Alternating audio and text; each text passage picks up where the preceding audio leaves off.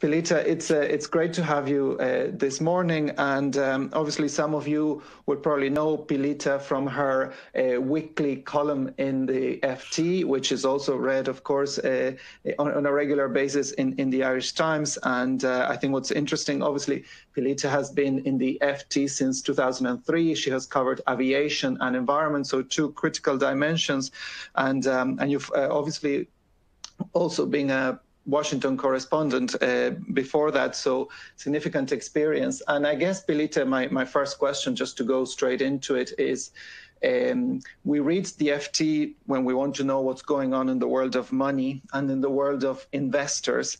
And clearly, these are very disruptive times. So I wonder how are uh, investors feeling at the moment? I mean, I, I, I, think we have almost forgotten that a few weeks ago, uh, the price of oil was uh, negative. Uh, uh, so um, how do you see investors reacting in terms of the climate emergency, the opportunities that are out there, and uh, do you see a, stronger orientation towards investing in, the green agenda and in the ESG agenda? Yeah, um, well, you're right. Um, very volatile times, as we all know.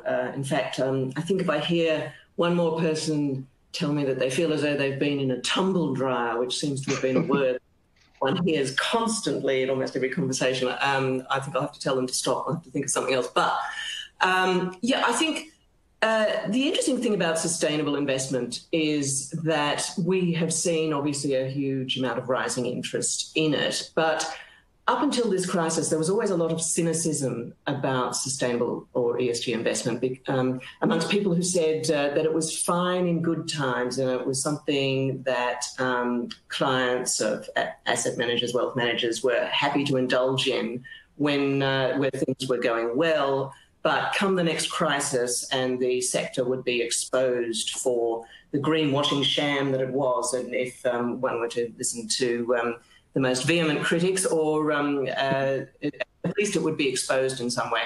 And I think the interesting thing is that so far, if we look at what's been happening in the first quarter, sustainable investing has been having a pretty good crisis. Um, there's quite a few interesting data points. You know, if you look at, say, uh, ESG exchange traded funds, they only had about two weeks of outflows up until about the third week in May, and both of them quite small.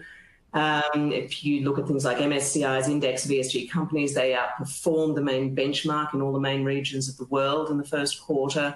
Green bonds have been doing very well against counterparts mm. as well.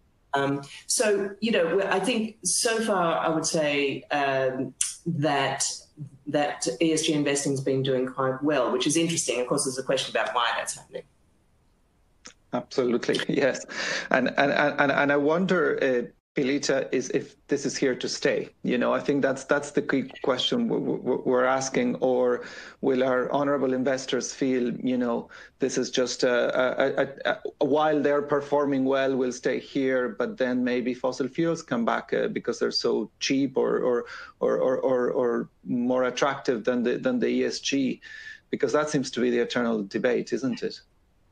Absolutely, yes. I mean, you know, ESG advocates will say that um, in times of crisis, people notice companies that behave fairly and treat their staff and communities well, and they'll reward them after the crisis. And in fact, there is some recent research from Harvard Business School suggesting that inter- institutional investors actively tried to put more money into companies that were receiving positive press coverage during the pandemic for their response to COVID 19 um, and the way they treated customers. And there's also an argument that you know the clean air and the, the relative quiet that a lot of us have been enjoying during during the lockdowns in cities that, that that will enhance efforts and interest in cutting emissions and introducing electric cars and electric transport. I, I do think there's something to that, but I can also see why people argue that um, ESG ETFs, for example, are heavily weighted towards technology and healthcare, two mm. sectors doing incredibly well in this crisis. And there's also other research suggesting that when you ask companies if they think they're going to do more work on sustainability as a result of the pandemic, uh, fairly small numbers say they will. And one um, one survey I saw only about 10% that were saying they would do that, and about nearly a third were saying um, uh, that they won't. So, you know, we'll we'll see how this pans out. I think a lot is going to depend on how individual countries do, and um, a lot is going to depend uh, on the, on the make of the energy makeup of individual countries. So we'll see. Absolutely. And I mean, I'm talking about countries, I guess uh, there's almost like a daily call, whether it's coming from uh, academics, from civil society, from business, uh, calling for a, for a green recovery, uh, whatever that might, might be. And uh, obviously the European Union has spoken very clearly about this.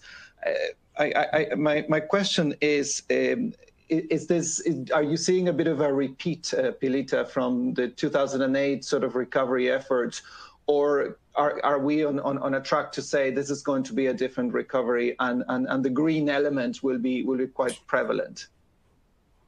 Yeah, actually, I was um, I was just doing some research on this yesterday because I was writing about it um, for this week's column, and uh, in fact, I did a Factiva search, a search of news uh, news publication databases. And I did a search to see how many times the words green recovery appeared in the three years from hmm. August 2007, when the crisis started, uh, to August 2010, and compared that to what's happened since January 1 this year. And it's actually incredibly interesting. Back in 2007, in the following three years, the words green recovery appeared 839 times which is actually less than the 990 times they've been mentioned since January 1 this year. So I, I don't think that's a big surprise. A huge difference for the reasons that uh, you and your colleagues have, uh, have, just outlined. We've obviously seen massive amount of um, uh, interest and indeed action amongst governments and companies in particular on uh, sustainable matters, uh, whether it's introducing uh, net zero targets, um, taking action themselves, and we've seen a huge amount of interest amongst the public. Um, so the pandemic interrupted that. Um, but I think that this recovery is going to be very different to the last one. And we have to hope so because, in fact, uh, last time around, when government started to rebuild, only about $1.06 it went on sustainable infrastructure. This time around, we're seeing a huge number of companies uh, pressing governments to ensure that their recoveries are going to be green. And as, uh, as was mentioned earlier, we're starting to see a number of countries, predominantly in Europe, attach mm. green stream to their bailout conditions, as we've seen in France and Netherlands and elsewhere. But not just in Europe. You know, I think it's very interesting to see that Canada, for example, has uh, said that its funding for large employers is only going to go to companies that agree to sign up to these TCFD rules, these climate disclosure rules, where they have to explain the climate risks and opportunities to their business. Now, that is incredibly interesting um, because, of course, if that were to become widespread and mandatory, it could mean that we see quite a dramatic shift in money um, away from brown to green ventures. So, you know, we are starting to see some very interesting things that weren't happening as much, I would argue, last time around. Yeah, no, and that's that's that's really interesting because uh, we need to to sustain some of those measures, and, and definitely the, the Canadian example is is quite inspirational. It it, it reminds me um, a decade ago when we went through the, um, the, the the bailout process for for the banking sector here. There was a clause that maybe people still remember, but it was one of those small little clauses that it was a requirement for companies to disclose uh, information on corporate social responsibility. Now, I, I, I sincerely hope that that, that is, is, is going to, to stay. But talking about governments, Pilita, you know, we are on the cusp of uh, forming one here um, as we speak, uh, hopefully. and, um, and, and, and obviously there's some, it's a, uh, there, there is a, um, a, a strong pressure for, you know, for climate being, being, being a key element of, of that agenda. What would you see from, from your global perspective of some of the key challenges that from a government perspective are in terms of uh, getting to that race to zero, getting to that net zero by 2050 uh, roadmap?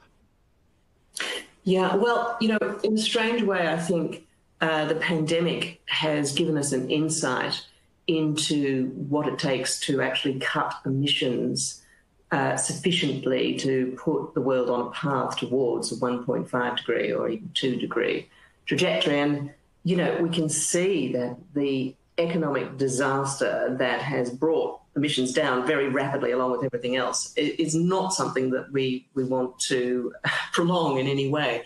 Um, and but it's I think it's given us a sense uh, of the tremendous changes that are needed uh, in order to reduce emissions. Not necessarily, uh, as I say, a good sense, but the the in each country, you know, no, no two countries are alike in a sense when it comes to the best way to cut emissions. But from an economic perspective, clearly the most efficient way to to try to uh, reduce emissions is to bring in some form of carbon pricing or carbon tax. And I was uh, fascinated to read actually that in the course of uh, the negotiations, the government formation negotiations that have been going on in Ireland, there's been discussion about um, a, a, carbon tax or carbon pricing. And in fact, uh, what's so interesting, I think, is that rather than arguing as other countries have about whether one should be introduced or not, it's more, it seemed from my reading that to be more an argument about where the proceeds of the tax should go to, which is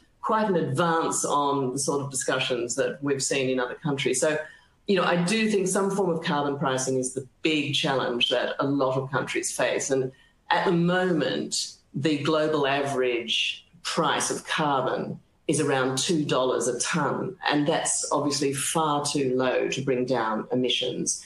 Uh, and so it's that I think is is something that is really going to remain a huge challenge for countries everywhere because as we've seen in my own home country of Australia, you know, governments rise and fall on carbon taxes at times, and it's a terribly difficult one to do.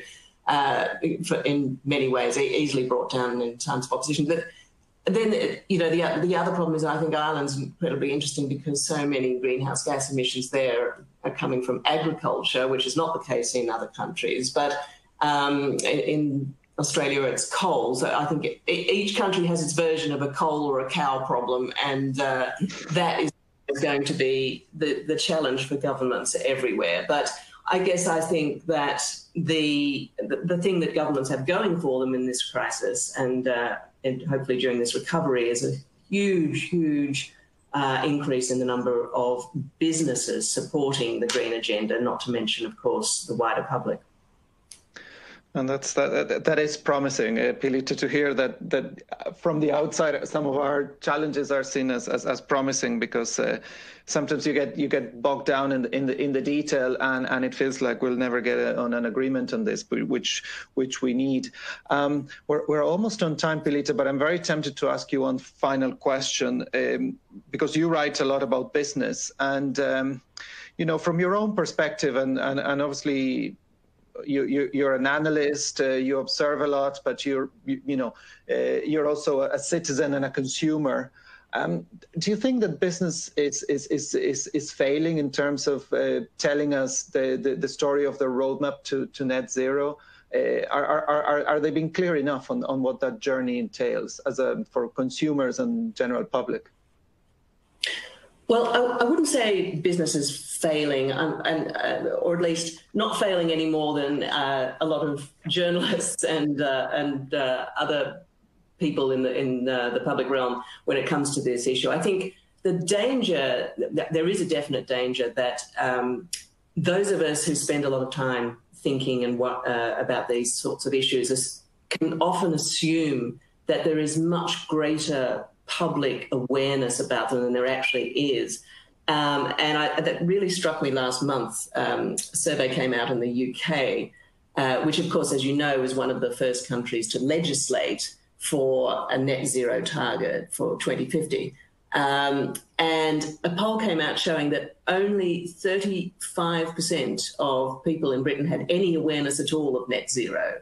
64% said they'd never actually heard of it. Only 3% said that they knew a lot about it. And so it was a reminder, I mm. think, that when it comes to talking about these issues, you can never simplify too much and you can never explain too much. And I think um, I would say that, you know, it's something to bear in mind for every every report, every press release, every story that um, that is written that we do need to just think, you know, how does someone going to be uh, interested? What's going to be the most engaging way to talk about this? Because phrases like net zero, let alone scope one, two, or three emissions, you know, tr tremendous turnoffs for people, and um, uh, we shouldn't, we just shouldn't assume uh, a high level of knowledge about this. No, you're you're absolutely right, and I'm sure we can do a whole list of the of the awful jargon that we've created here. And and and yeah, language is important.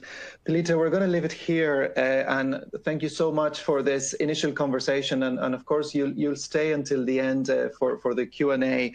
But uh, th thanks so much for for your time and and your insights, which have been extremely extremely useful.